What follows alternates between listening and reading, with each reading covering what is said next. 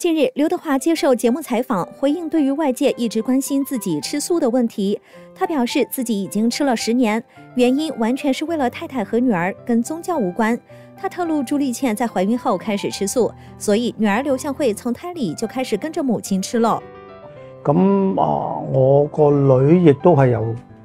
懷孕開始就我太太就食素啊，咁佢就胎裏素到今日都未哦，嚇。咁、其實啊，當佢出世一年到，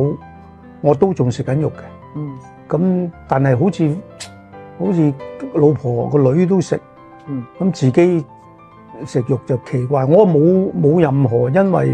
誒宗教啊，因為乜嘢我。刘德华的太太在怀孕时期选择了素食，作为家庭的坚强支柱，刘德华自然而然地加入了这一生活方式，成为了这个小家庭中的素食拥护者。刘德华这样的选择，不仅展现了他作为一名丈夫和父亲的责任感，也反映出